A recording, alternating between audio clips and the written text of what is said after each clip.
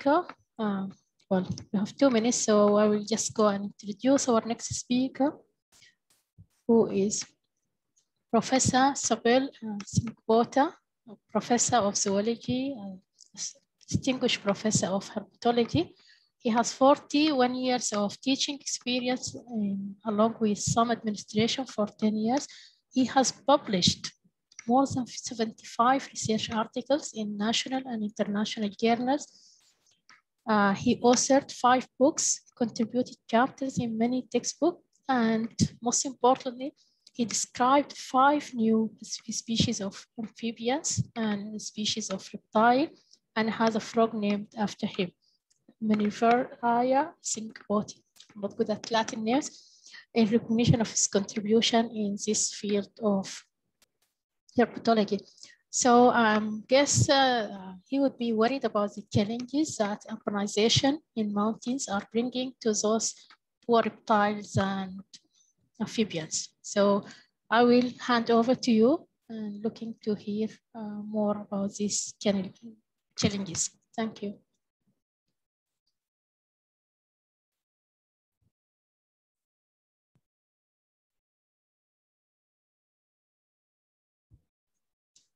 Um, yeah, we can see your screen, but we can't hear you. Uh, okay, yeah. thank you. Now we can hear you. Thank you, Dr. Oman. Okay, In fact, you. it's my uh, it's privilege to be here. Um, right away, I will start with my presentation. It's nothing to do with amphibia and reptiles, which are my very actually favorite fields of work. Um, uh, for actually for this study of amphibian reptiles, I have visited the Eastern Himalayas, specifically Arunachal and Sikkim. And today my topic is impact of urbanization in mountains and Indian scenario. Now, when we viewed urbanization, urbanization is in fact viewed as shift of rural population to urban areas. And it is nothing but the continuous migration by which cities are grown. So it is very evident, specifically in the foothills as well as the tourist centers and capital cities of uh, uh, this the mountain system this urbanization has occurred.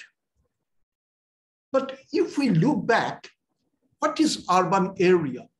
There is no uniform definition for urban area, which is actually varied from countries to countries. In Argentina, it's defined as localities with 2,000 inhabitants or more in Sweden, it's slightly different, 200 inhabitants. And where the houses are 200 meters away, in Japan, it is called a shi, where it is defined as 50,000 inhabitants or more, 60% or more houses located in the main built-up areas and so on and so forth. And in my country, it is statutory places with the municipality, corporation, cantonment board, or notified town area. And one has to satisfy this all the three criteria, 5,000 plus inhabitants, 75% of male working population engaged in non-agricultural practices, and at least 400 inhabitants per square kilometer. So it is evident that there is no actually uniform definition for urban area. Now, if we look back, it's actually the process of urbanization leads to increase in population densities of cities and is continuing to do so. And at present, if we look back at the turn of the 20th century, only 15% was urbanized population, but in 2007, it crosses mark of more than 50%. And an estimate being projected as by 2050, the developing world will have 64% urbanized population, whereas developed world will have 86%. And most of this urbanization will occur in Africa and Asia. Now, this transition from rural to the urban, actually uh, rural to urban population, this have changed the way of we live. Living condition has been changed, as well as work and travel. Now, why urbanization? Urbanization creates enormous social, economic, and environmental changes.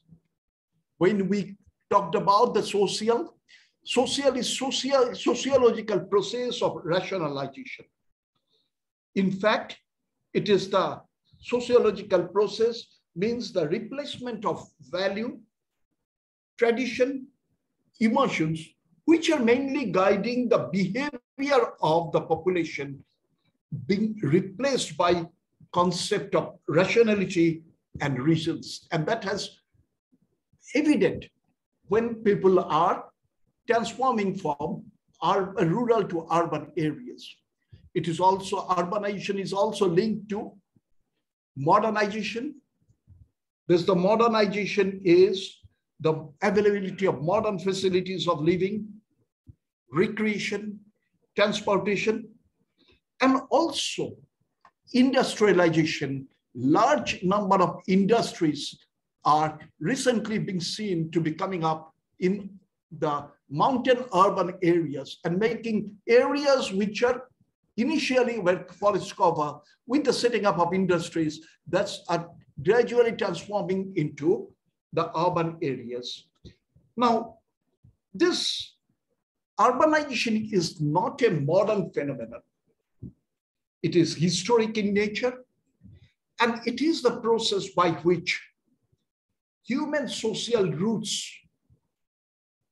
being transformed, whereby rural culture that's being replaced by rapidly by the urban culture.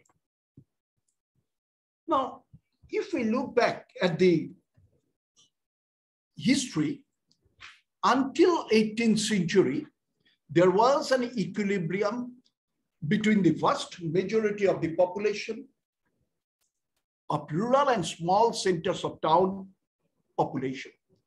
In fact, the rural population, vast rural population were engaged in agriculture and the small centers of town population are involved in economic activity, primarily with trade and at markets and manufacture on a small scale. As a result, there was a ratio rural, first rural to small urban population, and that was maintained at a fixed equilibrium. But this relationship was finally broken. And if you look at the graph, that's it's for Indian uh, actually uh, uh, for the Indian scenario. The graph rural population gradually coming down with urban population going up, and it is estimated that by 2050 more will be the urban population than the rural one. And this relationship, there's the maintaining the fixed equilibrium was broken due to the unprecedented growth in urban population throughout the 19th and 20th century. And it is made mostly due to continuous migration from the countryside and also due to tremendous expansion of land areas or tremendous expansion of the urban areas. And as already stated, at the turn of the 20th century, there were just 15% was urbanite, but now we have more than 50% urbanite population. Now, mountains, when you say mountains, we know the mountains are known for their rich diversity. diversity of flora and fauna, as well as for the uniqueness, which we talked about uh, in the earlier session also. Thus, these are harboring large number of endemic flora and fauna. Now, with population increase and also urbanization, these two phenomena are very closely interlinked. Great pressure has been exerted over the natural resources, flora, fauna, and other types of natural resources. And people starting utilizing this without concerning the sustainability as there is hardly any suitable alter, alternative available for the people, livelihood alternative available for the people. And they have started utilizing the natural resources. And also forest-based urban centers, industries, hydroelectric projects, and other developmental activities are geared up in the highly vulnerable mountain ecosystem. And requirements at the same times have been changed due to urbanization. People looked for better health, better education, and also looking for luxury, which were not there in the rural actually areas. And also there occurs a vast change in the land use pattern. Now, what are the causes? Causes may be unintentional. People may move in search of new areas, settle there and gradually converted the area into urban area or planned by individual, by society, or by the government, the state. Now, why urbanization? Does that urbanization, living in a city, why people are moving, living in urban area may be culturally and economically beneficial. Cities or the urban areas provide better variety of services, larger variety, more numerous and large number of varied job opportunities. Cities provide also better medical facilities and people for health, health has to move to these cities and also varied and high quality and there's that large diversity of educational opportunities. But there are also some harmful effect. That's social phenomena like alienation, stress, increased cost of living connected to an urban way of living. So there are both beneficial and harmful effect. And this harmful effect also, there's the urbanization causing certain harmful environmental phenomena also like urban heat island producing. In fact, the industrial and urban areas produced and retained heat. And cities are often one to three degrees Celsius warmer than the surrounding landscapes. And there also a reduction with the high temperature reduction in soil moisture. And also there's the due to lack of or reduction in forest or vegetation cover, does the carbon sequestration also get affected. And ultimately it forms a heat island. It's also, urbanization also results into deterioration of urban, actually water quality because large amount of biodegradable waste being produced and pollution occurs in addition to eutrophication. And another is that there's the food waste, rapid growth of communities resulted into new challenges. And one of these is the production of food waste. The food waste are those which contains unused products, products which are at expiration as well as spoilage.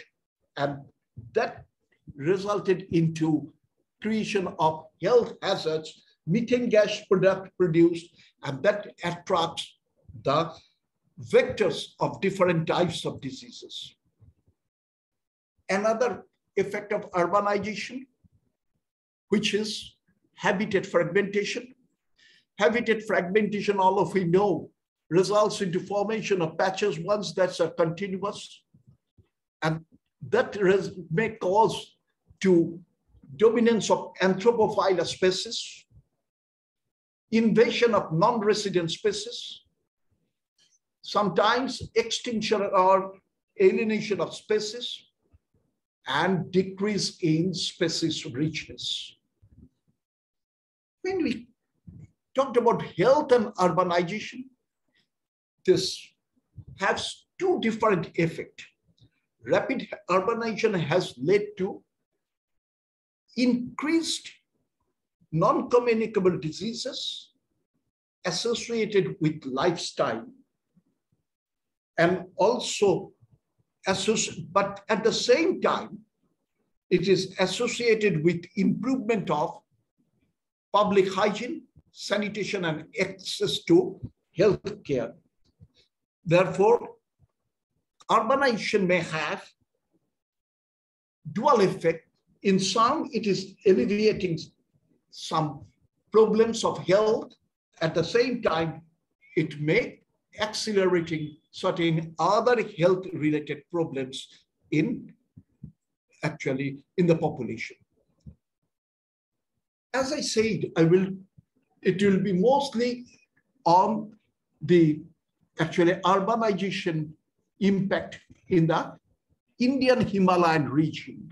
If we look at Indian Himalayan region can be classified into three distinct zones separated by natural barriers between Nanga Parbat and the Sutlej River. It is the Western Himalaya, including Kashmir and Punjab. The second one is Central Himalaya between the uh, Sutlej and the Arun River, include Kumaon and part of Nepal Himalaya, though Nepal is politically a different region, and the eastern Himalaya that is between the Arun to Tsangpo Brahmaputra river basin that is include Sikkim, Darjeeling, Bhutan, and Arunachal Himalaya. Now, there are two most important factors which are threatening the biodiversity of the uh, of the mountain area. That's our urbanization and population. Now, urban area may threaten ecosystem through direct habitat conversion and through various other indirect, actually population related factors that act as precursor. So population pressure is a very important factor in urbanization. Now, if we look at Indian Himalayan region, the urbanization is rapidly increasing. And the capital cities, which contributing only a very negligible fraction of land, that is only 0.5% of the Himalayan region, but accommodating a large human population, very small area, large human population as a result of which there is increased population density and it is as per available data of 2015.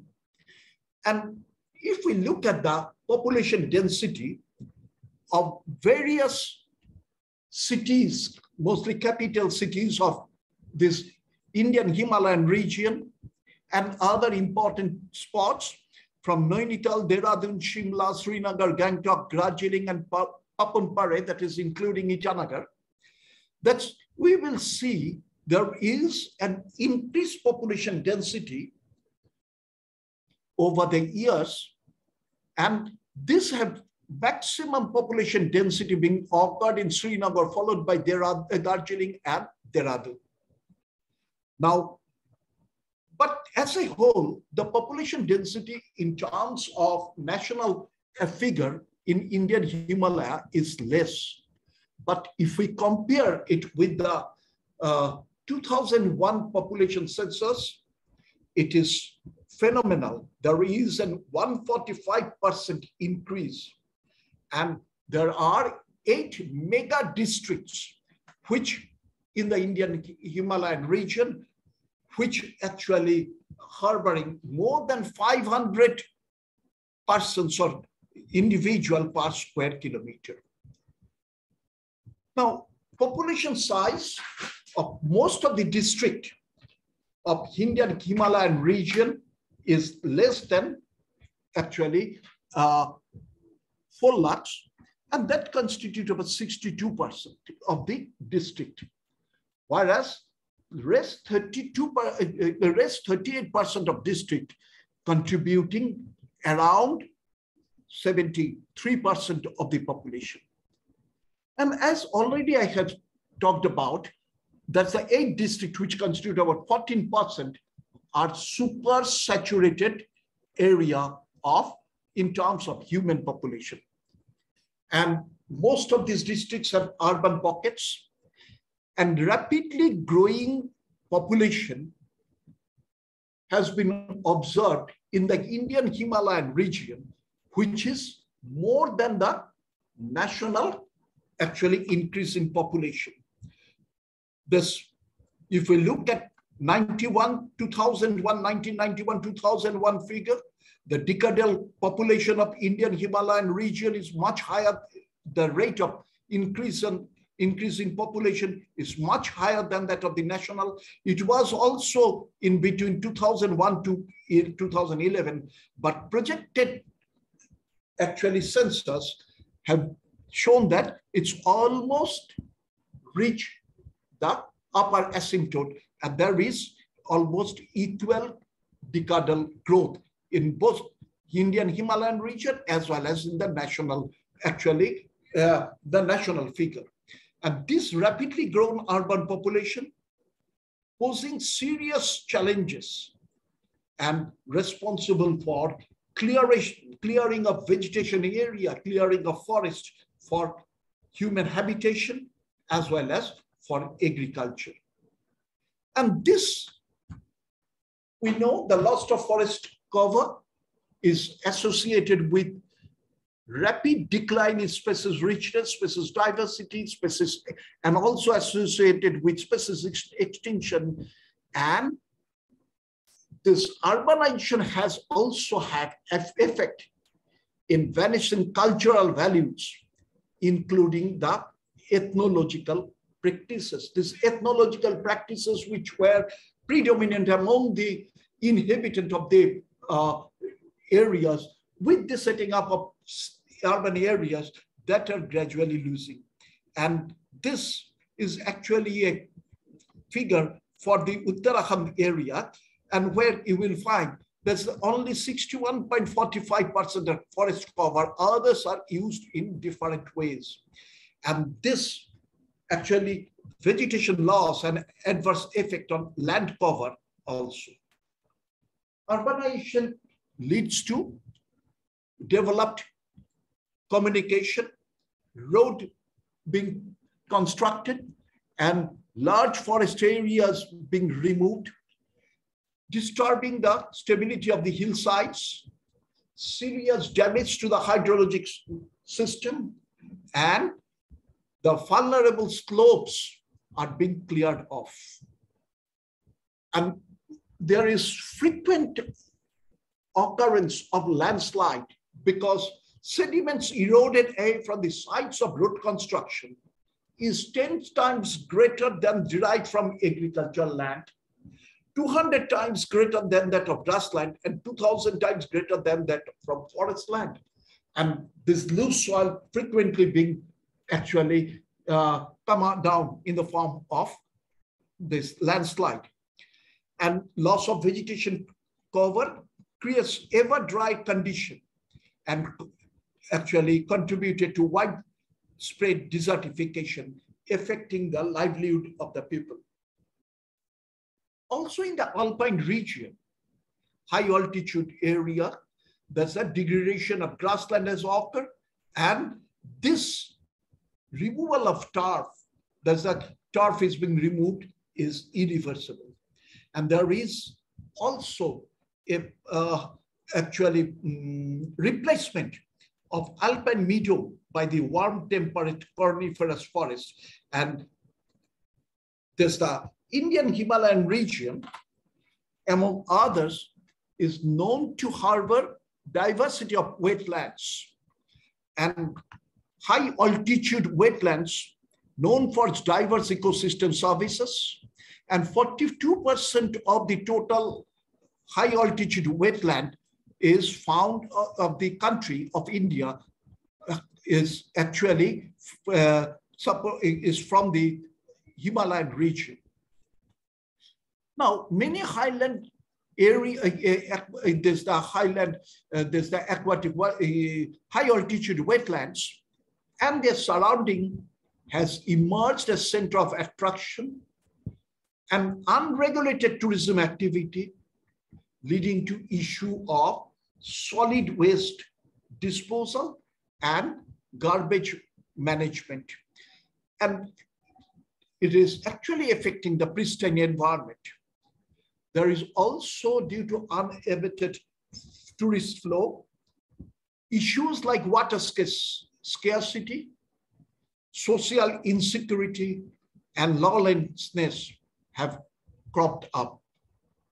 And the Indian city of Shimla, the capital city of Himachal Pradesh, the state of Himachal Pradesh, experienced in 2018 a condition run out of water and it is the local people perceived it as the effect of tourists and the local people told tourists to stay away from this area from Shima, from uh, Shimla. There are several studies have been carried out.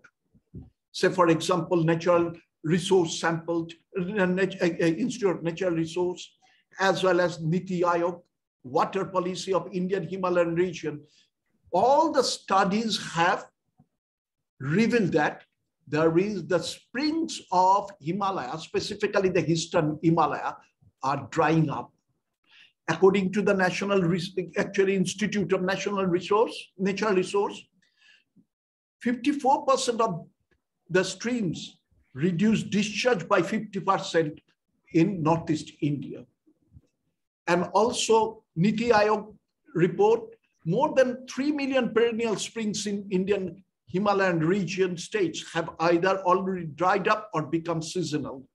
So these are nothing but unplanned urbanization effect. And unplanned urbanization is causing significant changes in land use, land cover, and reducing the recharge areas of springs of the Himalayan actually. Uh, uh, Professor, uh, yeah. uh, we have about three minutes for you to yeah, wrap up. I'm just, so I'm just concluding. I'm just concluding. Okay, thank you. Traditional shifting cultivation has been replaced by growing permanent cash crops. And this has reverse impact because jhum cycle of regeneration is lost. And as because there is permanent cash crop being developed, it is that's the uh, human animal conflict is also being increasing. Changes in habitat quality associated with urbanization causes reduction in the size of habitat patches and due to high frequency of traffic, both road and railway, wild animals often divert and there occur human-animal conflict. Now, the multidimensionality of population and environment is the relationship of this is influenced by technology, political, and cultural factors. And this urbanization has to be looked in a serious way so that urban areas should develop in a very sustainable way without giving much or without uh, impacting the environment, the culture of the local people, as well as other related factors. Thank you. Thank you for, uh, for your actually kind attention. And thank you, Dr. Omar. Okay, thank you, Professor Saibal Sengupta, for your presentation and for uh, highlighting those challenges, uh, the social and environmental impacts of urbanization. And I hope that will inspire all of us, including our participants, to find innovative solution to bring uh, sustainable urbanization where people can enjoy the benefits of modernization and while they are protecting and safeguarding the environment. Um, maybe we'll have one minute for anybody wants to add a comment or ask a quick question before we move to our next session.